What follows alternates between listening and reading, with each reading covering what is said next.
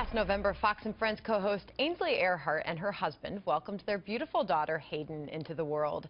This November, they not only celebrated a first birthday, but also a new book by Ainsley entitled Take Heart, My Child, A Mother's Dream. It is described as a personal note to her daughter. Last night, Megyn sat down with Ainsley to find out the story behind the book. Great to see you, Ainsley. Congrats on the Thank book success. You. This is so beautiful. I, as a mother of three children, was extremely moved by this. Mm -hmm. And honestly, I'm a little jaded when it comes to the children's books now. I'm like, whatever, nice try. Uh, this one, I was like, oh, really? Yes, I feel it too. Yes. And I defy any mother out there or father to, not to feel a little verklempt upon reading this. You say your inspiration was your own dad and the notes he left for you as a kid. It was amazing because this book, I went into the publisher with a book about my dog, and they were like, Ainsley, tell us a little bit about yourself. And I started telling them about my mom was a school teacher. She went to work at 7 o'clock in the morning, so dad was in charge of breakfast. Did the Mickey Mouse pancakes, did, you know, the smiley face with the banana, with the peanut butter, and always had a note next to our cereal bowl with some sort of a scripture or a saying or some sort of a, a famous quote. And they really resonated with us. And at the time, we were like, Dad, come on, really another quote? Like, can't we just have our breakfast? But as we got older, obviously, they, they've just been a part of our lives. So it's really cool to see this book take off because we're, we're just an ordinary family from South Carolina, Megyn. I, I, I, I love the examples you give, though, because the one that stood out to me was nothing good ever happens after midnight. That's exactly right. Girls and boys, remember that. Just get home. This is, this is not worth it, whatever it is. But this is your own writing, and it's to your baby. And I just want to take the viewers through, through a couple of the quotes, because okay, I do great. think they're so beautiful. Because there's a lesson in each one of these, on these pages. Here's one that you write. May you take the high road, though the road may be long. Mm -hmm. Pledge to follow your heart, so your heart will go, grow strong. And if you stumble or the path grows too steep, take heart, my child. Trust yourself. Take that leap.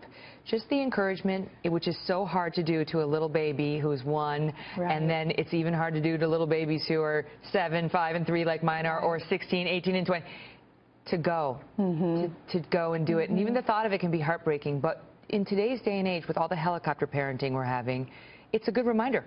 Absolutely. Well, you know, it's, it's hard to let our little pure, innocent, little young ones take that leap. But you know they're going to fall down, even when they're learning to walk at Hayden's age at one years old, or when they're 30 years old and they're taking a leap, maybe a career leap, or um, some other, maybe marrying someone.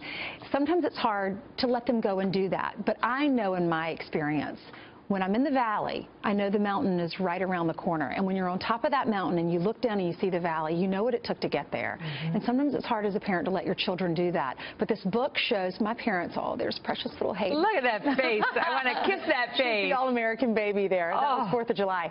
But anyway, uh, you know, this book, it, it's sharing with my daughter and children around the world what my dad taught us. And it was take that leap. Never be afraid to fail. That's what Walt Disney said, and dad loved that one. Um, if you don't like your course, you can always change it. This is not a dress rehearsal. You only have one life. And if you're not going to be in charge of it, someone else will. So you own your life and you make, make decisions for yourself. What about, I mean, now you're a working mom, yeah. right? Just like me. And I, I, also have a book out, which the viewers have heard about by now. Congratulations on your success. Too. Thank you to you too, love. It's called Settle for More, and in it I have a chapter uh, on having it all, mm -hmm. and how it, it is tough to balance life as a working mom. And this isn't particular to moms, it, as a working parent, but as a working mom with young children and that pull you feel to be better at both. Right. You feel like you're not good at anything because you're spread thin. Mm -hmm. The good thing about my career or my job is it's the morning show. So I can nap when she naps, mm -hmm. but I have the whole day with her. I mean, I was in music class with her at the beginning of the week, and it was awesome. And I kept, during the morning show, I love my job, but I look so forward to doing music class with her. So I'm very fortunate because my schedule does allow me to spend a lot of time with her. Yeah, that's right. And uh, she obviously looks the better for it. Look how happy they look, how beautiful they are. Ainsley, Thank I'm thrilled you. for you. Thank you the for book's doing great. Been fun viewers. to watch it. Thank Love you. little Hayden. Don't we have the best viewer? Fox fans, Fox viewers are just the best. They've supported us. Yes. They buy our books. We really appreciate that. They care about us, and it's it's just been an awesome experience. Well, let me tell you something. So I've been out all over hell and gone promoting my book, Settle for More, and and nothing, nothing sells books like the Fox News Channel, and the viewers who are so loyal to us, so supportive of us through thick and thin, and we appreciate that more than they know. And